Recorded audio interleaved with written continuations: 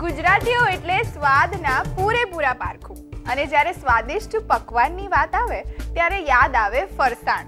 અને ફરસાણની વાત આવે, એટલે યાદ આવે સમોસા. એટલે જ આપણે બે દિવસથી શીખી રહ્યા છીએ સમોસાની વેરાયટી જેમાં આજે પણ કુકિંગ એક્સપર્ટ કૃષ્ણ કોટેચા બનાવશે મેક્સિકન સમોસા. અને ત્યારબાદ બનશે કેબેજ સમોસા.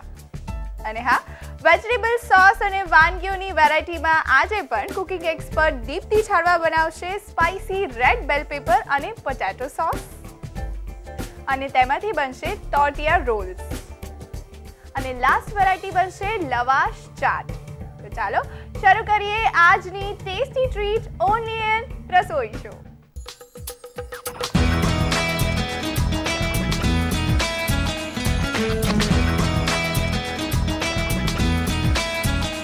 કેમ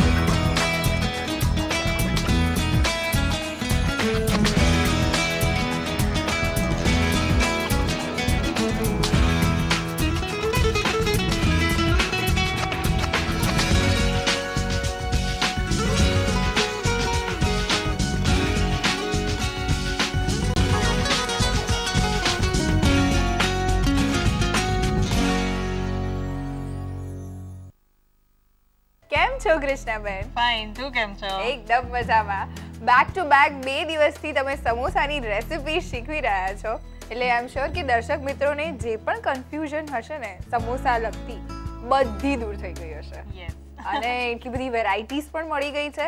એટલે એક પછી એક સમોસાની નવી નવી વેરાયટીઝ તમે શીખવી રહ્યા છો એટલે એ લોકોએ ટ્રાય પણ કરી હશે. યસ અને આજે તો તમે ઇન્ટરનેશનલ ટચના સમોસા લઈને આવ્યા છો. અરે વાહ મેક્સિકન સમોસા. એટલે એક મેક્સિકન ફ્લેવરના સમોસા બનશે. બીજી શું ખાસિયત છે? આ સમોસા પણ એવા છે કે સરસ સ્પાઈસી અને ચટપટા છે. હા હા. અને ખૂબ ઇઝીલી બની જાય છે. અરે વાહ! તો આપણે સામગ્રી જોઈ લઈએ? ચોક્કસ. એના માટે લોટ બાંધેલો છે.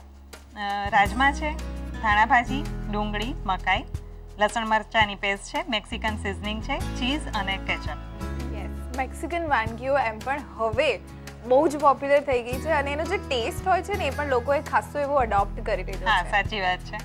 એકદમ અને આપણે ભાવે એવા ટેસ્ટ હોય છે મેક્સિકન